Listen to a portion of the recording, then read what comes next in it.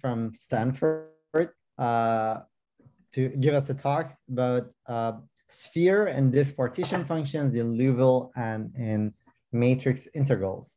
Thanks so much for agreeing to give the talk and please. Yeah, thanks Nima. Thanks uh, everyone for the invitation. And I'm very happy to tell you about this uh, recent paper that we wrote with Douglas Stanford and Cynthia Yan, who's a graduate student at Stanford. And uh, related work actually completely independently also appeared by these authors, uh, especially Dio Anninos and Beatrix Mühlmann. So uh, the big picture of, uh, of this talk is that usually if you open Green Schwarz Witten in the first paragraph, the you talk about scattering amplitudes. And scattering amplitudes, let's say the easiest one is a two to two tachyon. So two tachyons to two tachyons for a four point scattering amplitude. And we compute this, this is the Venet or the closed string version of the Veneziano amplitude and so on and so forth. And there's a beautiful string perturbation theory. Uh, there's a genus expansion. You can have more insertions. The topic of this talk is a sphere diagram, but without any vertex insertions. So no vertex operators are to be inserted. So you can ask, this is a kind of a free energy computation or something that just tell, telling you about uh, the path integral just evaluated e to the minus the string action integrated over the string configurations. But this is the topic. You can ask the similar thing about the disk. Again, in the disk, the Veneziano amplitude we insert, usually we start by inserting four vertex operators on the boundary of the disk but we will be asking about just the empty disk with no vertex operator insertions. So what do these diagrams mean in string theory? Um, the distinguishing character of these diagrams is that their Euler character um, is positive instead of negative. So most Riemann surfaces of high genus or with a sufficiently large number of insertions have negative Euler character. These guys have positive Euler character. Okay, so there is a general lore that the sphere partition function without operator insertions uh, is a fundamental quantity, but it's also very confusing. The expectation is that it should give minus the classical value of the on-shell action of the string background. So strings propagate in some background. It could be flat space. It could be ADS3 times S3 times T4, or any other background that satisfies the uh, consistency conditions of string propagation. So this is interesting because if you ask, for example, in ADS3 times S3, and you put the ADS3 on a cylinder, the boundary is a cylinder, then there is a quantity which is the ground state energy of a CFT2, which lives on the boundary of ADS3. And this is the Casimir energy. It's like negative C over 12 or something like that. And if we remember our lessons from Brown-Henneaux, the central charge of the boundary theory scales as one over G Newton in the bulk. So this is something like LADS over G Newton.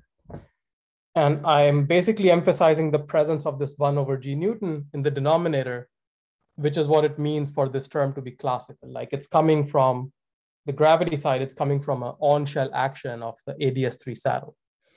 So question is, can the string worldsheet reproduce this computation?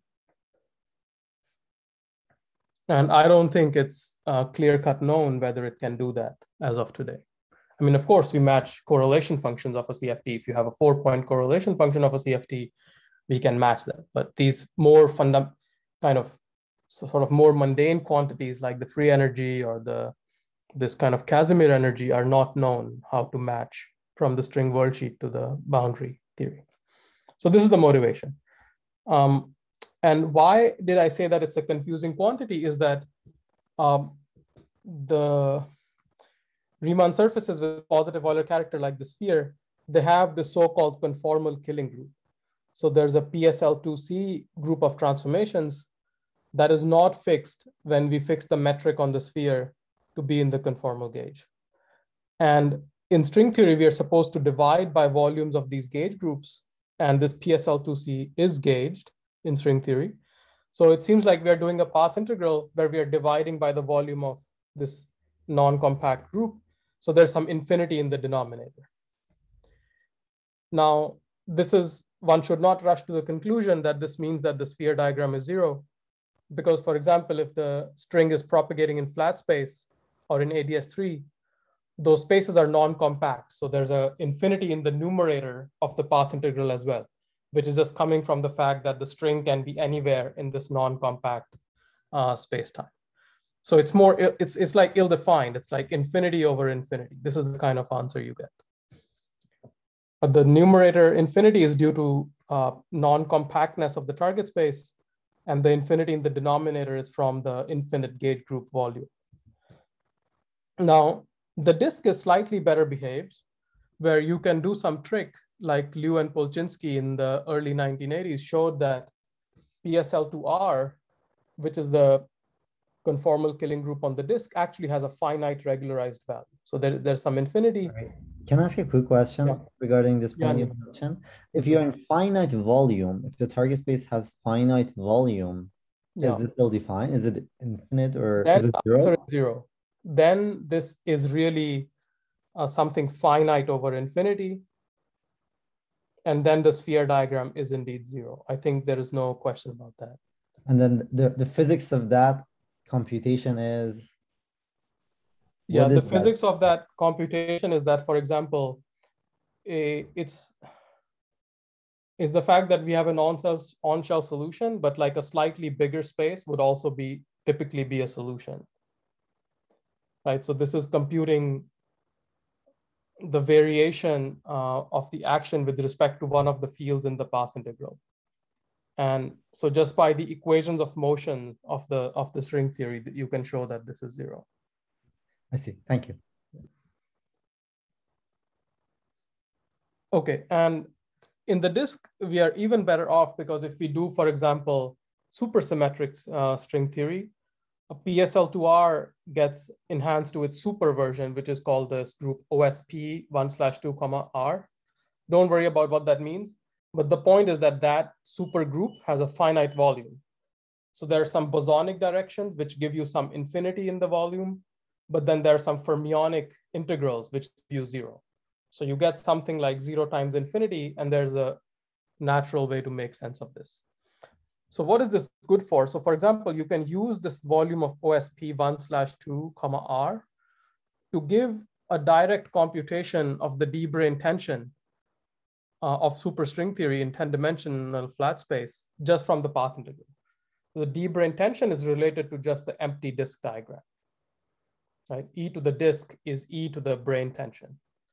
And so one can do this computation, even though this is not the thing that I'm going to present today. So it's useful to think of these very rudimentary sort of objects in string theory.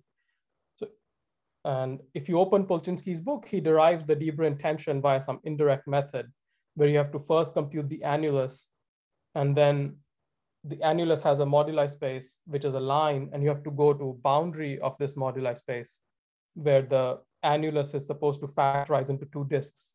And that's how he computes the disk.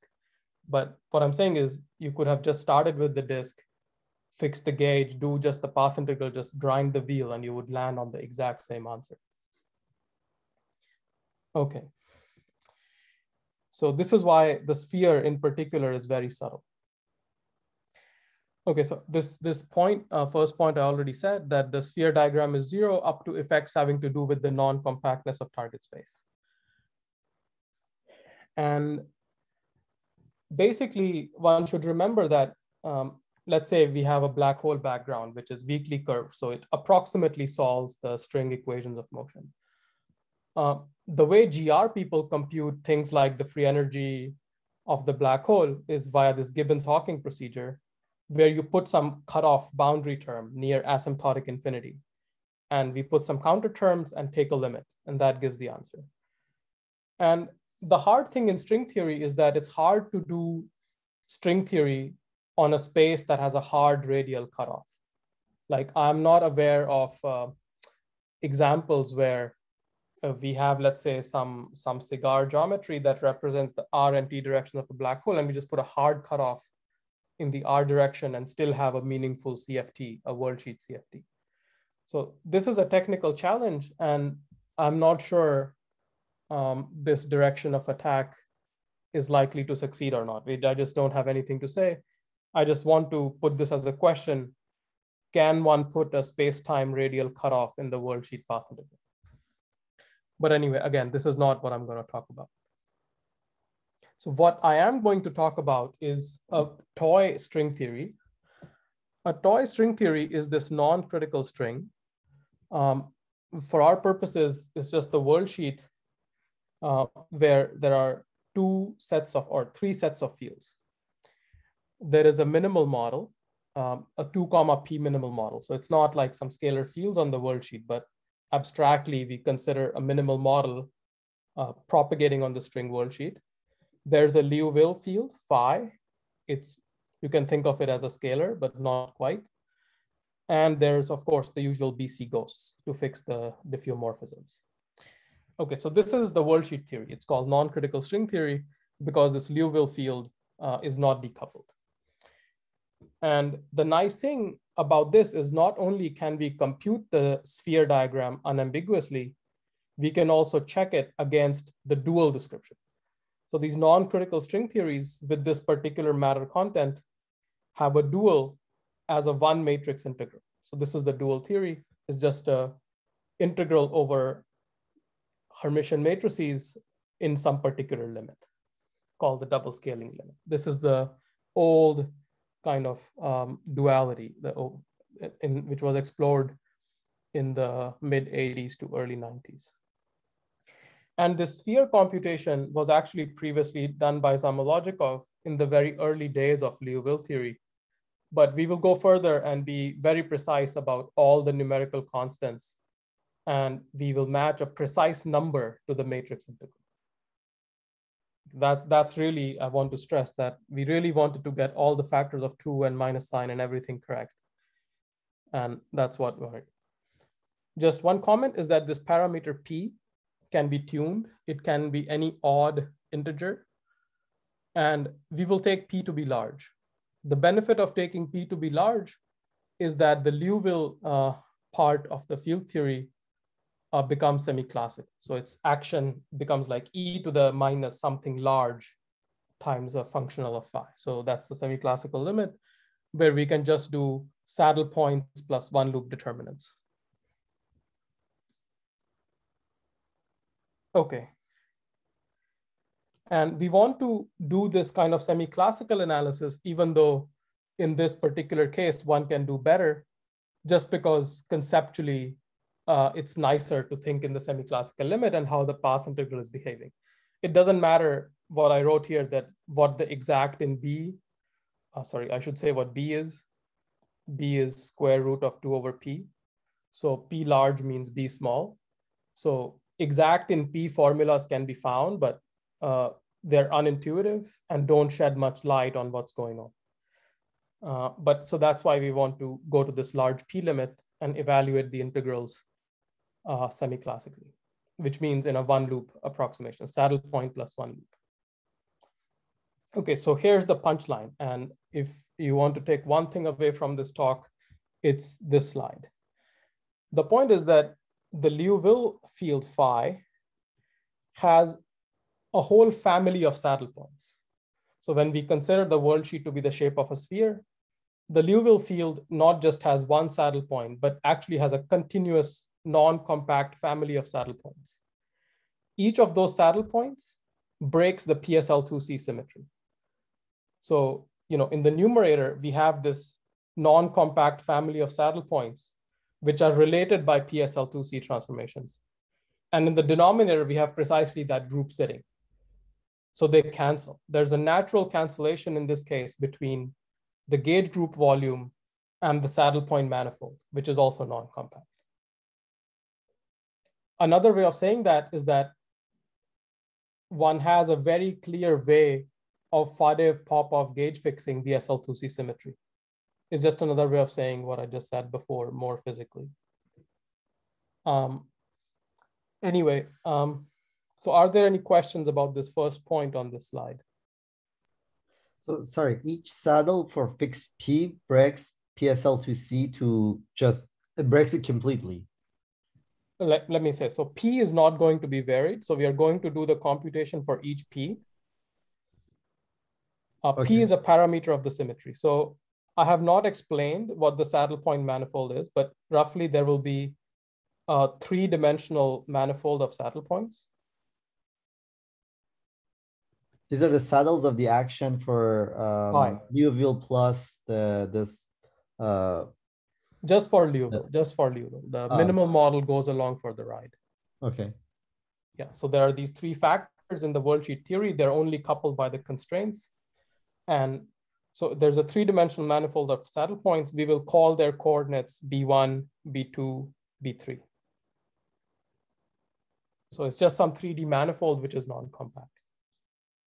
And each point in the saddle point manifold breaks PSL2C down to SU2. So SL2C is the group of all complex matrices with determinant one, two by two, and SU2 is the unitary subgroup. So there are three left over. So this is a six parameter group, and this is a three parameter group. And these B's are the directions that are broken. So that's why I use B. I, I guess I just got a little bit confused because you also use B for as this parameter square root two over P or something. Oh, sorry, sorry. Yeah, these this those B's are different. Um, okay. So that that was just a parameter square root two over P. Yeah. Okay, thank you. Yeah, yeah. These B's are just coordinates on this manifold. And this B here just stands for broken. So essentially what I'm saying is there are six coordinates on PSL2C. We can split them into three coordinates that are symmetric, which means these are the three coordinates on SU2. And then there are three other coordinates. Right. Thank you.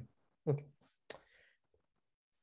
So, however, there are some more conventional subtleties like the existence of conformal anomaly, uh, blah, blah. You need to take the um, uh, there's a term in the string action proportional to just the Euler character of the worldsheet.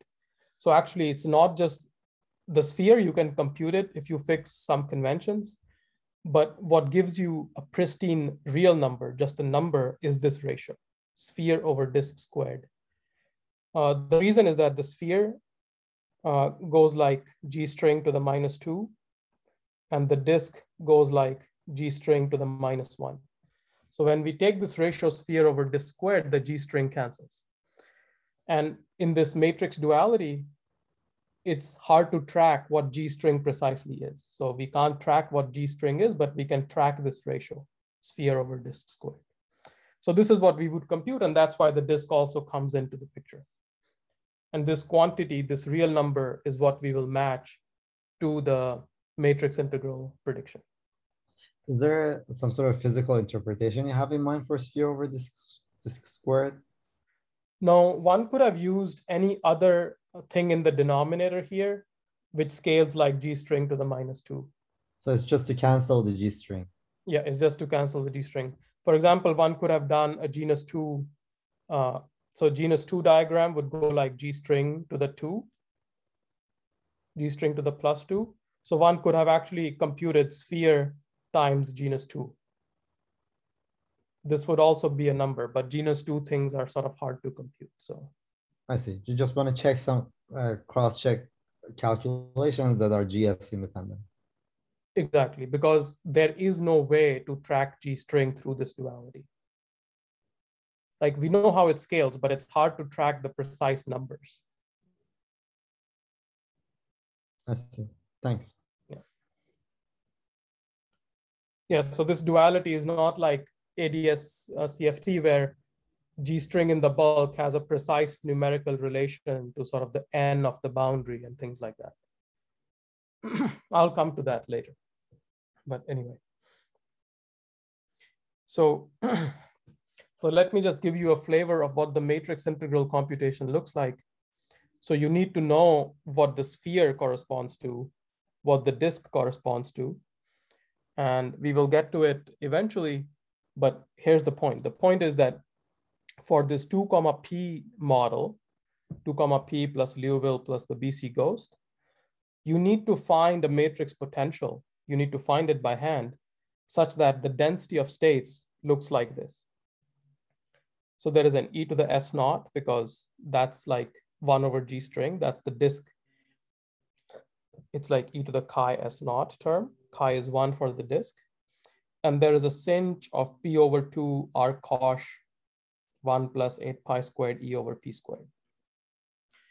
And um, if you tune your matrix potential such that this is the density of states, then the sphere partition function, as I will show you, contains some boring infinite pieces. And the interesting term is this one. So you see this here is e to the 2s naught. So this is the sphere. Roughly speaking, the density of states is the disk, not quite, I will get to it. But you see that the e to the s naught dependence will cancel when you take sphere over disk squared. So this is a very simple answer. It's just some number, 2 to the 10 pi to the 6th. And this is how it scales with p. Well, not scales, it's the exact formula. Not at large p. This is for each p. So I, I said before, in Liouville, we will only produce a p cube term here. So can you say where, where this density of states came from? Uh, yeah, so there's a big history of this where people were confused as to um, what this density of states should be. And uh, it was fleshed out that if you want, so the matrix integral has an arbitrary potential. We can pick the potential to be whatever we want. But if we want that matrix integral to be dual to the Liouville theory that I described, you have to pick this density of states. So you can right, but I mean, which what what about the Liouville theory fixes this? I think you for each, yeah. each value of the potential will correspond to something in the Liouville theory, right? Yeah, yeah, yeah. Good. So right. So if you pick some potential, it will be a Liouville field, but its action will not just be the one you might be used to. So if you want to study this path integral, with this you know, kinetic term, background scalar term, and the cosmological constant term, this particular action corresponds to that density of states. So what, yeah, what okay. would it mean? Like if we added some other potential and changed this density of states, it would be like deforming this action. Right. Thank you so much. That's right. Thanks. So this is also goes by the name of the conformal background. And one thing I want to highlight is that if you take the p goes to infinity limit of this formula, you see that the arccosh gets dominated by this. Uh, yeah, p is so this is this is small, so it's arccosh of one plus something small. So that becomes like square root of this number. So it's like square root of e over p. The p cancels here, and then rho of e is like sinh e to the s naught sinh of square root of e. Uh, this is the density of states of JT gravity. So JT gravity is a particular limit of this one parameter family of theories that we're studying. So this is, this is JT. Okay, uh, any questions about that before we dive into the details? uh, sorry, so the density states you wrote down, that's for any P. Yeah, here P is general. no large P assumption here. Yeah, and if P. you take large P, then you go to this square sinh of square root of. Right, I see. Okay. Uh, the arccosh simplifies in the in that limit. Yeah. Okay. Thanks. Okay. Great. So now let's get into it. Um, get into the Liouville computations um, there are three basic components to the computation. So one, we have to identify the relevant saddle points because we are working in the semi-classical approximation and the associated steepest descent contours. We have to compute the one loop determinants and we have to divide by the volume of the gauge. So all these three steps we have to do. And they're pretty similar for the sphere and the disk. And I think I will just be able to get through the sphere. And for the disk, you can uh, read the paper. Okay. Uh, this point I have already made is that uh, there are non-compact, there is a non-compact manifold of zero modes, which gives an infinity in the path integral in the numerator. And the origin of these zero modes is that the saddle point configurations break the PSL2C spontaneously.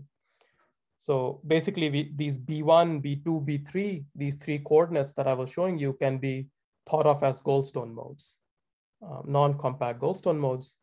And there is a similar story for the disk.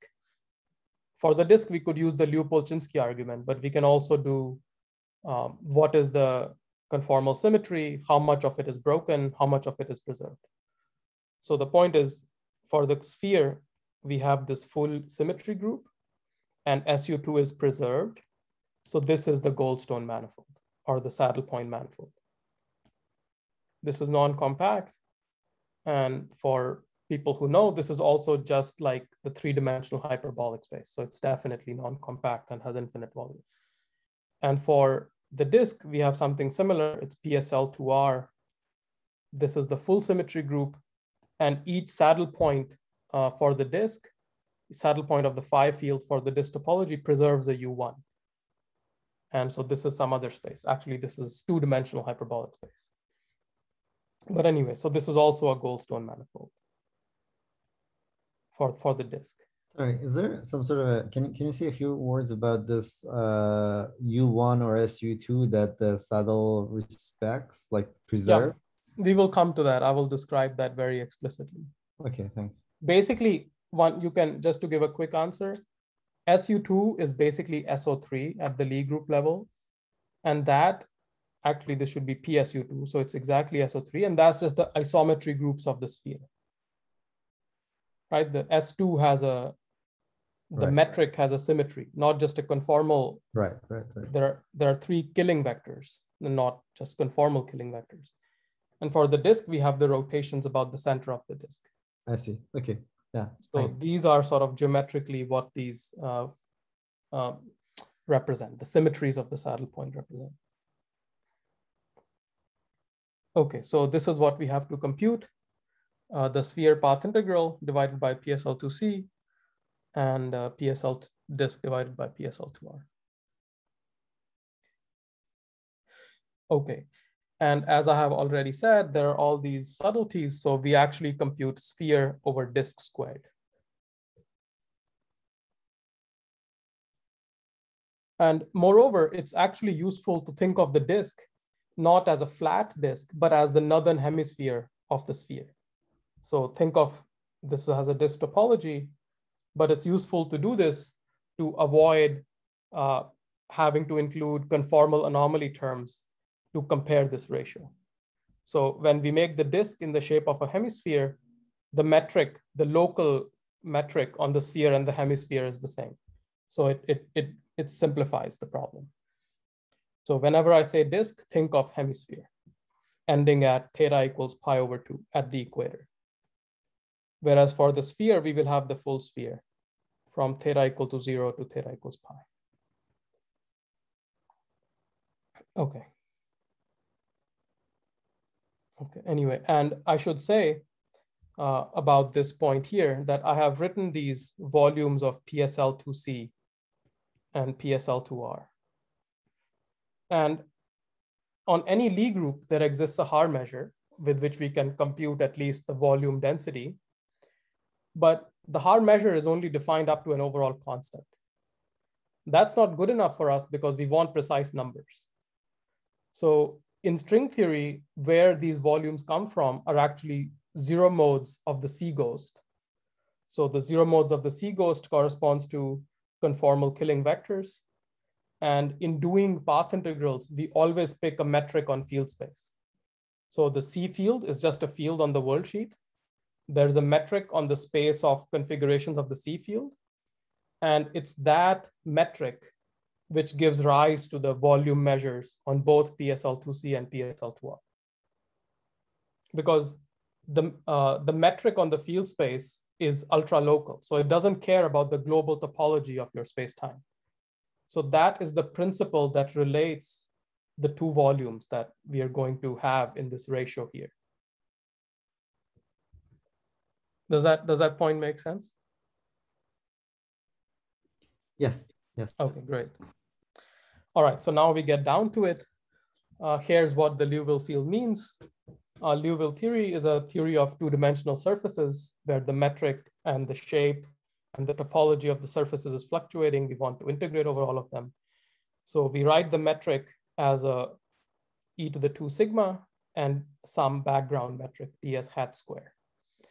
And the ds hat square, as I've said, we'll pick to be the sphere or the hemisphere. This is what also simplifies life for the hemisphere because the equator is a geodesic.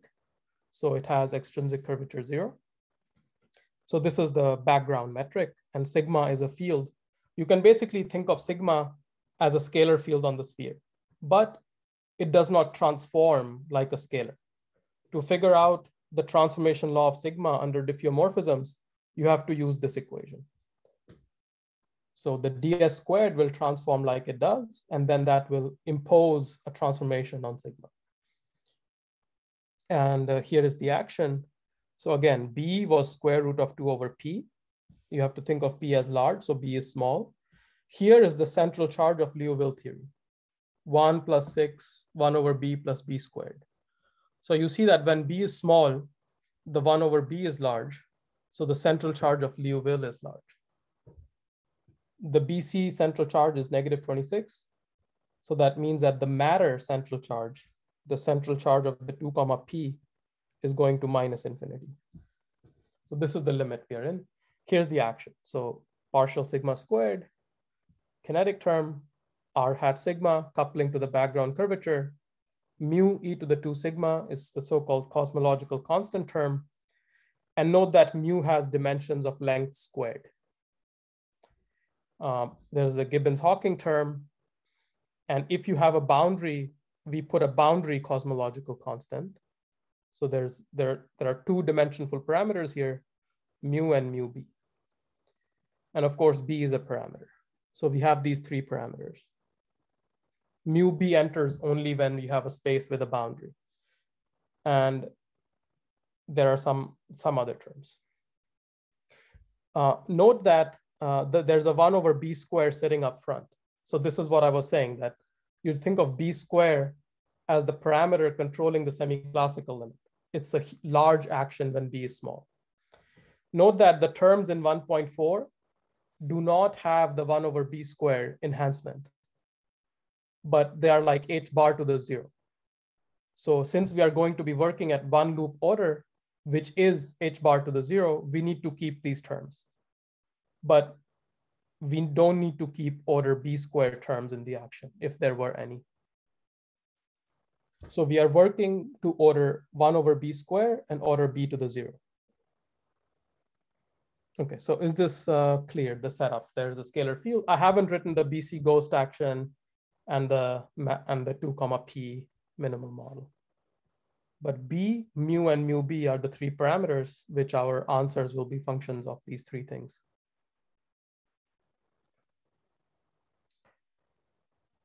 Okay, uh, let me pause here just to get a drink of water and give people some time to maybe ask some questions.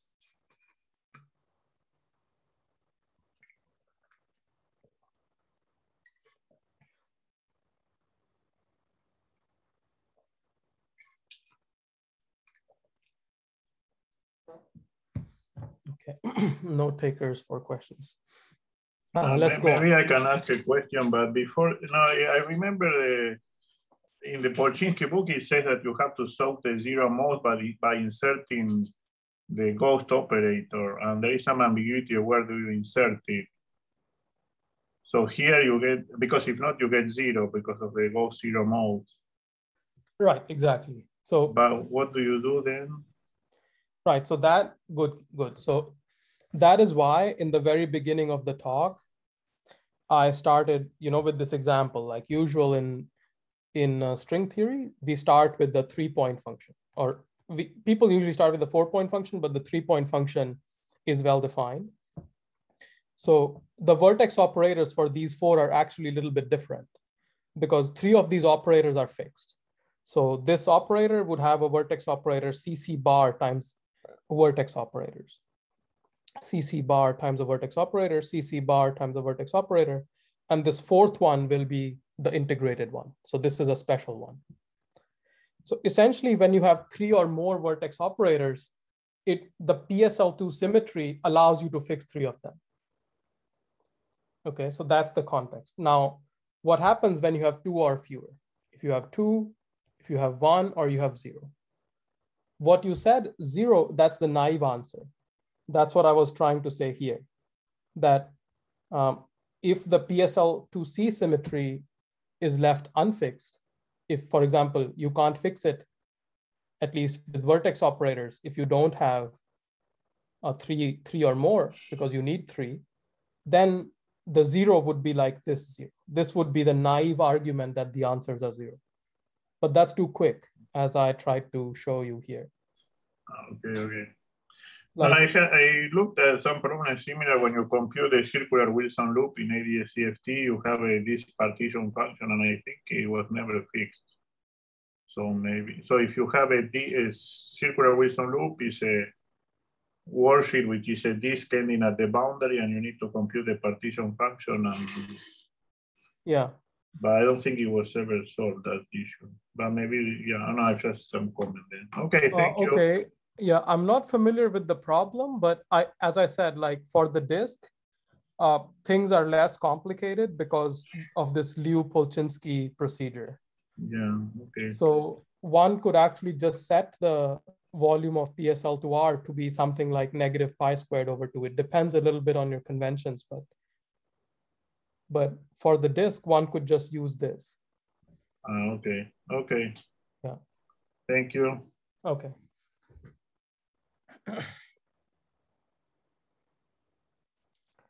okay, so on to, on to the computation. Uh, let me rewrite the action here. It was d sigma squared plus r hat sigma plus uh, 4 pi mu e to the 2 sigma. R hat is equal to 2 because we are on the sphere. And let's just look for constant solutions. So the equation of motion would be something like d square sigma plus 2 plus 4 pi mu times 2 times e to the 2 sigma equal to 0. We are looking for constant solutions, so this term goes away. The 2 cancels, and we have 1 plus 4 pi mu e to the 2 sigma equals 0. Now, this what I wrote here, this looks funny because you might think e to the 2 sigma is a positive number. So this has no chance of being equal to 0. But we have to be liberal. Path integrals are integrals. We can think of a complexified field space, and we can think of the path integral as some contour integral in that complex plane. So we think of sigma generally as a complex variable. And once sigma is complex, there's actually an infinite number of saddle points. And this n is simply because e to the 2 pi i n is equal to 1. So, so this is what we get. So there are saddle points which have some real part and also have some imaginary part. Okay, so there's some infinite number of saddle points. Uh, note that e to the 2 sigma being negative 1 over 4 pi mu, and mu is positive for sure. Mu is positive and real.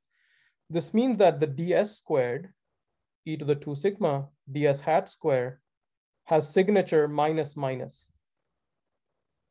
So that's also fine. We're just working with the analytic integrands and having uh, complex uh, variables so the we allow the metric functions to go negative. And this is what it physically means because the classical Liouville equation, um, this thing here, it says that the curvature of the Ricci curvature of ds squared is negative, constant negative. So this is why classical Liouville theory is used in the uniformization of Riemann surfaces. But okay, you might say a sphere has a positive curvature. It doesn't have negative curvature. But a sphere with a minus minus metric has negative curvature formally, r equals negative two. So this is the physical meaning of, of this um, shifts by odd multiples of i pi. And uh, this was also discussed in uh, recent discussions of JT gravity by uh, Turiaci, Maldacena, and Zhenbin Yang. Okay, so this is just what I said. So the classical equation for Liouville field imposes everywhere constant negative curvature. And something funny has to happen if your ds hat square had curvature two. And you want this full metric to have curvature negative two. Okay, so this by all means, it's allowed and there's no, I don't think there's much doubt that these saddle points contribute to the path integral, but not all of them contribute as we will see. So what's the next step? You have some action, you plug it into the action, you find the on-shell action. Okay, you do that. I wrote the action before, you can just plug it in. Note that the action has these one over b squareds in the exponential. So that's what happens in semi-classical path integrals, e to the one over h bar, e to the one over h bar, but there is this phase factor also coming from this imaginary part of the sigma. Okay, now on the next slide, I will justify to you that one should be summing over roughly half of these saddle points, n equal to zero, one, two, three, and so on. And just first, let's just see the result. The one loop determinant for all these n's is the same. So we can multiply it at the end. So, so there is some one loop factor, which is the same for all n. But let's see what the sum over e to the minus i classical gives. Sum is a sum over n, and it's a geometric series, right? It's e to the something uh, n. So this is a geometric series whose sum we can do, and it pops out this one over sine pi b squared factor. Uh, it's a geometric series with a purely imaginary ratio, but those are also analytically well defined. Like the geometric series analytically continued only has a pole at the when the ratio equals one, but it's well defined for all other complex values. Another way of thinking about it is that you can think of B parameter also as being slightly complex. And then the ratio will have magnitude less than one. So anyway, there is some geometric series and you get this funny sine pi over B squared factor. And if you have looked at formulas in Liouville theory, this one over sine pi B squared is ubiquitous. It's like everywhere in these formulas. So in the semi-classical computation, it's coming because it's, it's coming from a sum over geometric series.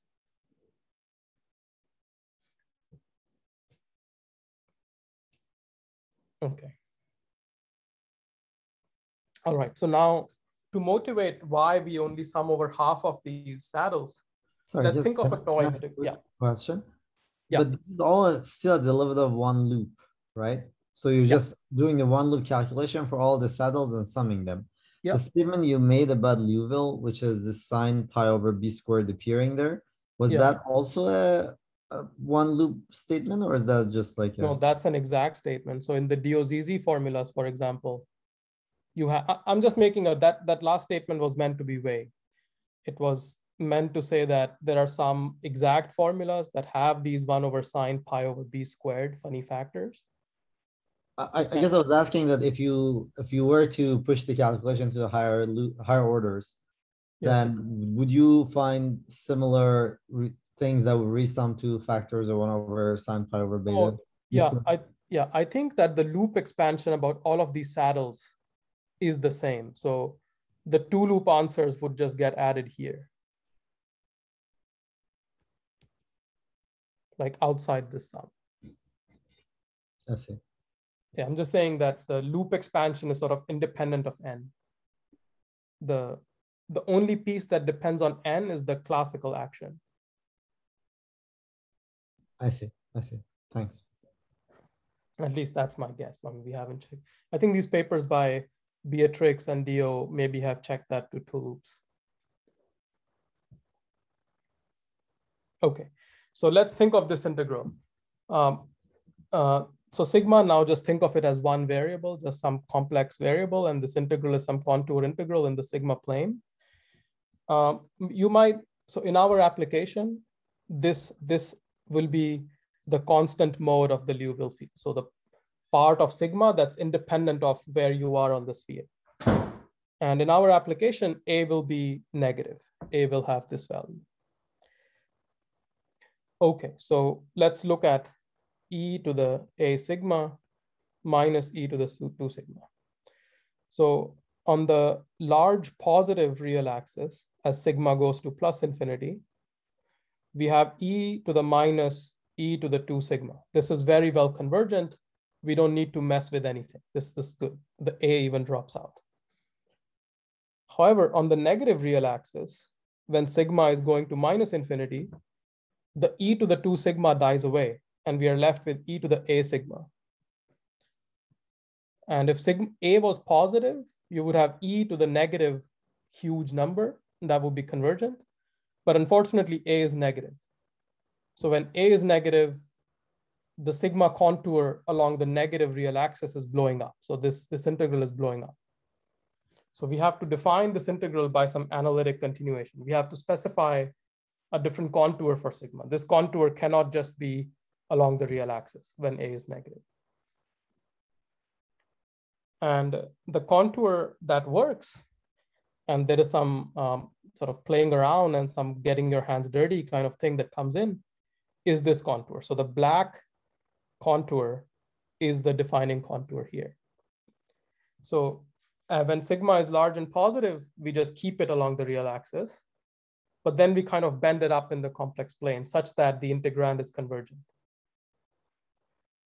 And actually, then you can clearly see. So I have marked with thick dots here. We mark the locations of the saddles. And the dotted lines represent the steepest descent contours from the saddles. So you can take the defining contour and kind of wrap it like this, right? It can be deformed to this thing. So that's why only half of the saddles kind of matter. Uh, is that clear? Yes. Okay, great. Uh, one thing I want to say is that uh, this integral e to the a sigma minus e to the 2 sigma is actually a gamma function integral. If you put e to the sigma equal to t, this would be dt over t, t to the a, e to the minus 2t. So this is a gamma function integral. And so what I've been telling you, like, you know, the gamma function asymptotics are well known, like when a goes to infinity or a goes to minus infinity, we know how the gamma function behaves. The point is, you know it actually when gamma function goes to the argument of the gamma function goes to plus infinity. That's the Stirling approximation. But when the argument of the gamma function goes to minus infinity, the gamma function has all these poles at the negative integers. So the asymptotics of the gamma function for negative real values of its argument is actually complicated. And one way to do it is to use the reflection formula, gamma 1 minus t, t equals pi over sine pi t. And if you want this argument to be large and negative, this is large and positive. So gamma of 1 minus t is pi over sine pi t. And then you can use the Stirling here for gamma of t when t is large and positive. So you see again, there is the sine of pi t that comes up. So what I have shown you is basically a way that you could derive the asymptotics of the gamma function at large negative argument if you didn't know about the reflection relation of the gamma function. There is still some sum of saddle points. There is still some um, uh, so yeah, anyway. By the way, much of this was explained uh, in a paper by Harlow, Maltz, and Witten uh, from early to 2010, 2013 or something. Okay, so I don't think I'm going to go over uh, the disk computation is pretty similar. There are some saddle points. You have to pick the right number of saddle points. There's some one loop determinant. The only thing I want to show you is that the solutions are now not just constants. The, the saddle point would be a sigma of theta. And so there's an equation of motion, but there's also a boundary condition. And I have written the solution here in terms of this number alpha. And alpha is determined in terms of mu b. So it's just some parameter in the solution. And you see again, there are these n's here. So there's also some infinite family of solutions. Again, because only e to the 2 sigma kind of enters the game. So we will actually, for the disk, take a further limit. Mu b goes to minus infinity, which means alpha goes to 0 plus. It's not so relevant, but this is an easy limit in which you can compute answers. And I wanted to emphasize that mu b is a parameter of the theory. So the parameters were b, mu, and mu b. And we are studying this when mu b goes to minus infinity. Well, again, there is some on-shell action. Now it depends on this alpha, which is basically, if you think of it as alpha as being mu b. And again, there is some large action, there's some n dependence and blah, blah. Anyway, you can compute the on-shell action, it's here. All right, so now let's come to the next part, the one loop determinants. So we have computed which saddles contribute, what are the on-shell actions, and now it's time for the one loop determinants. It's, it's the same, it's a very familiar trick. trick. We expand the field, classical field plus a fluctuation, define a metric on field space, and um, that's it. Like, so this, this parentheses d chi d chi is an inner product. F and G are two fields on the world sheet. This is the inner product. So this is the metric. This capital C sort of enters into the path integral measure. So when you integrate over fields, you're integrating over their modes, and the C sort of enters. So uh, one trick invented by humanity is to expand the action to quadratic order. So when you expand the action in chi to quadratic order, you find a kinetic term and you find this negative mass squared term, minus two, a very precise particular value of the mass, which is important. It's very easy to see what the eigenvalues are. Eigenvalues of b squared chi would just be LL plus one, and you get minus two.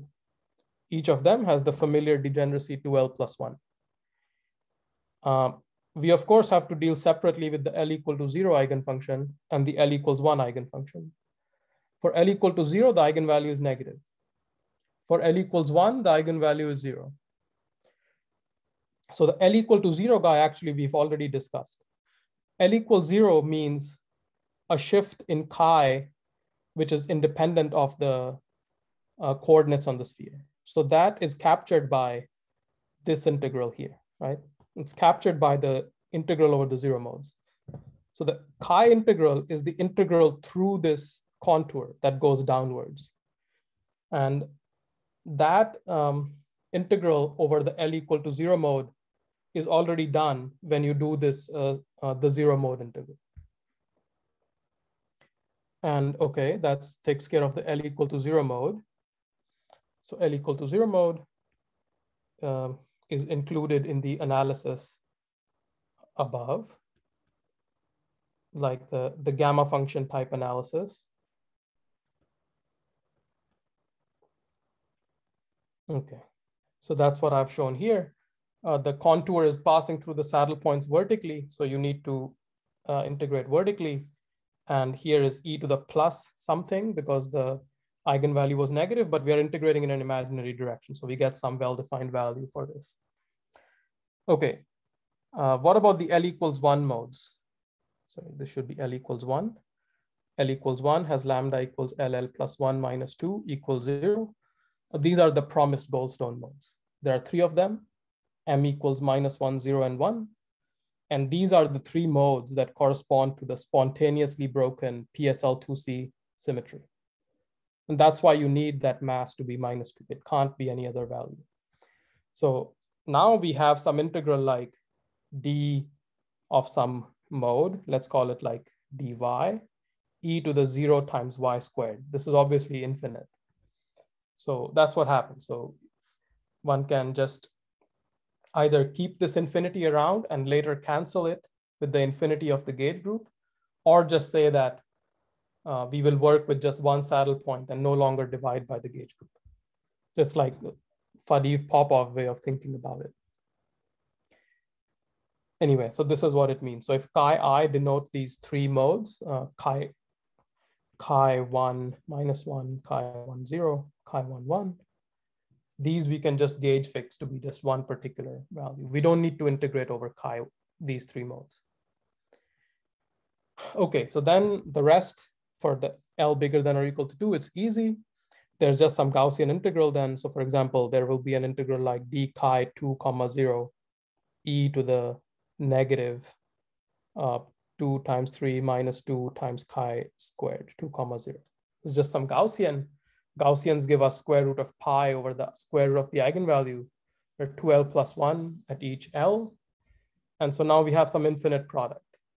And there are standard tricks to compute these infinite products um, that involves the so-called zeta function regularization, or you can put in explicit convergence factors, e to the minus epsilon squared lambda to damp out the uh, high frequency modes. So anyway, this part of the computation is relatively standard. And uh, for example, you need to do such sums. You turn an infinite product into an infinite sum and uh, use expressions like these. So there's some divergent piece epsilon, you should think of it as some kind of UV cutoff on the field theory. There's log terms and terms. And anyway, it's, it's just a well-defined machine that you can run. So again, I don't want to go over the analogous computation on the hemisphere. It's the same. You have some zero modes, you have some negative mode, so on and so forth. All right, so how am I doing on time?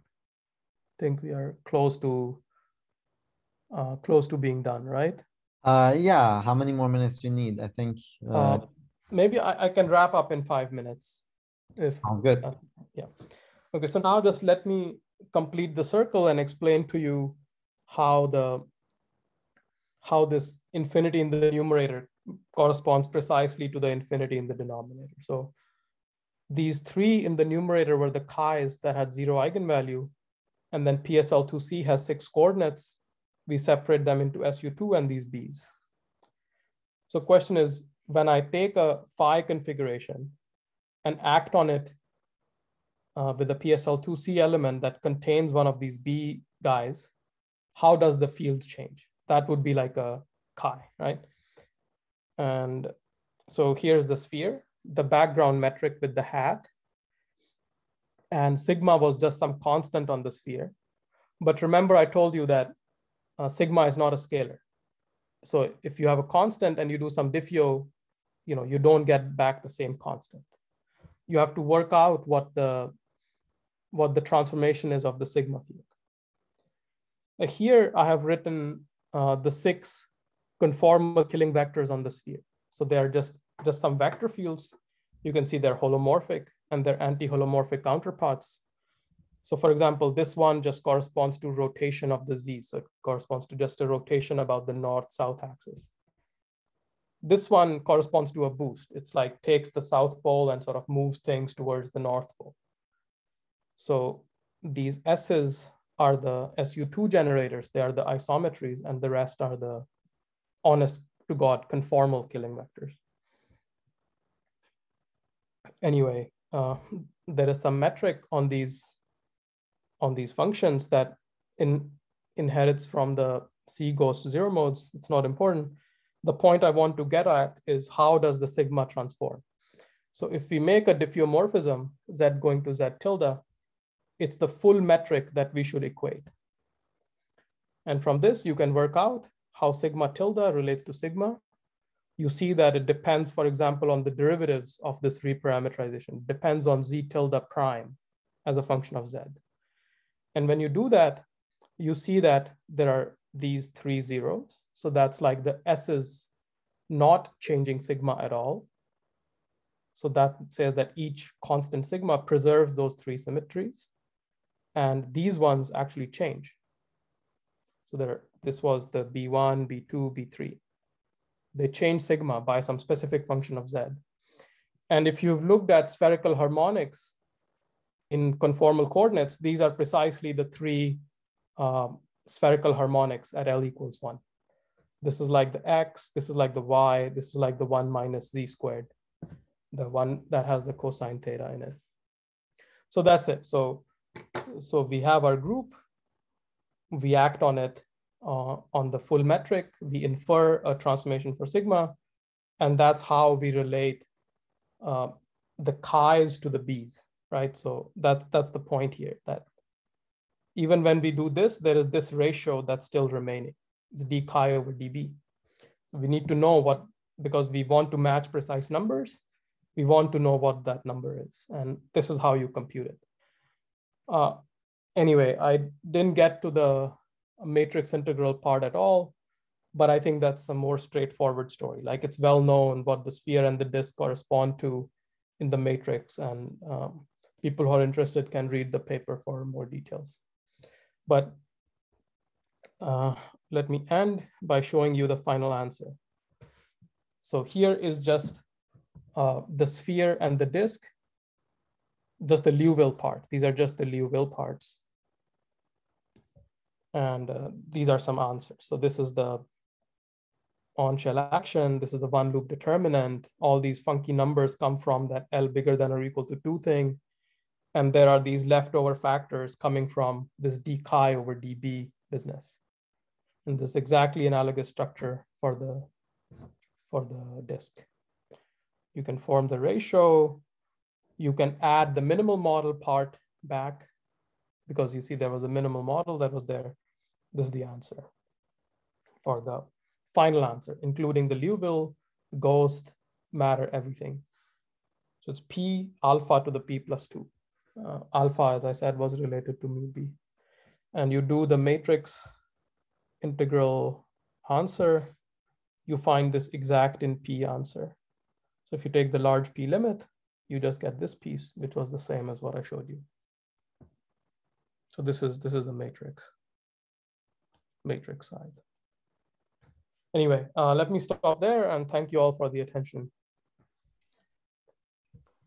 Thank you so much, Raghu, for the talk, for the great talk. Uh, are there any questions?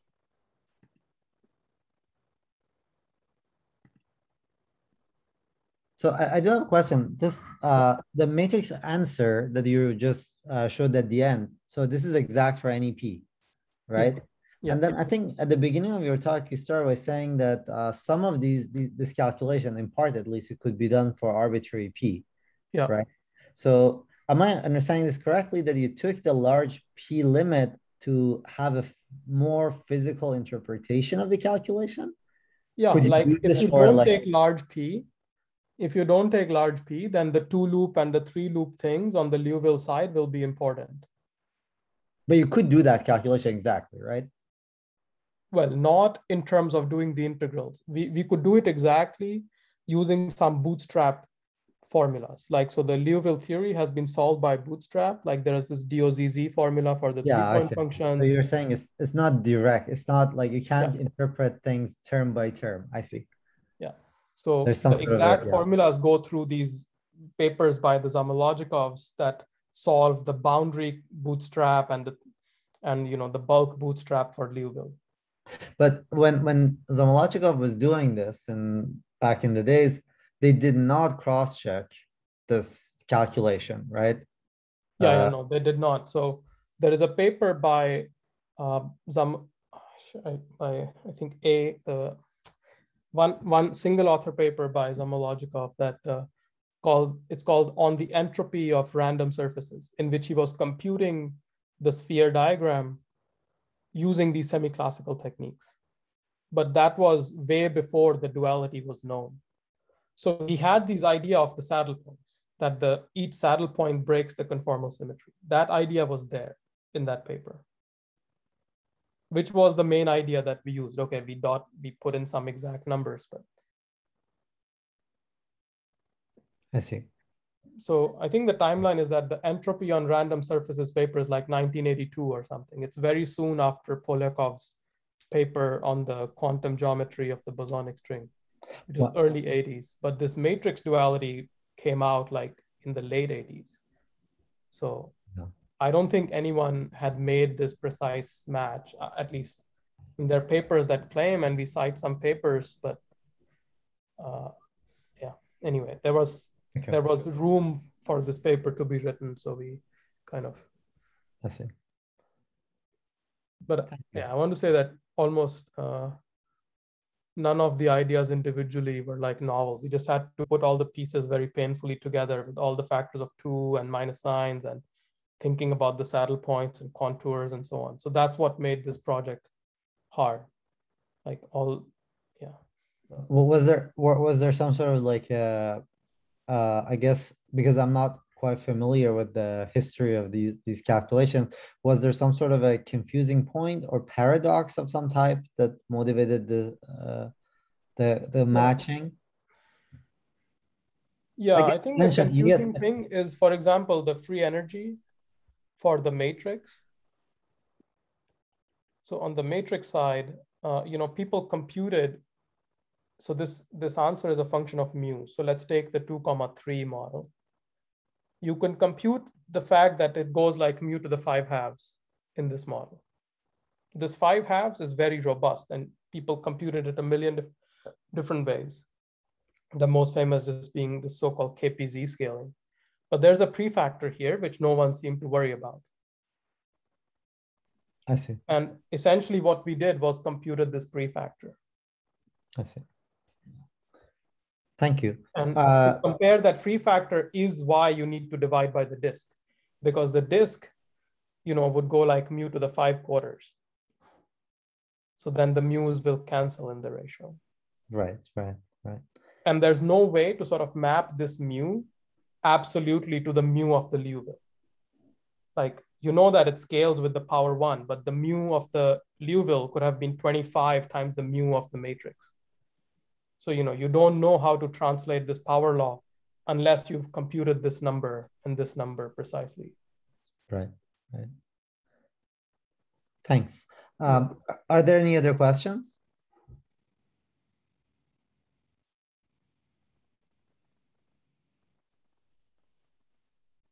if not, uh, let's thank Raghu again uh, for the wonderful talk. And uh, yeah, thank you so much for joining us. And uh, we'll, if you don't mind, we're gonna put the video on YouTube. Yeah, that's that's good for me. Thanks, Nima. Thanks for having Thanks me. so much. All right. Okay. Take bye. care. Bye. Thank you. Bye.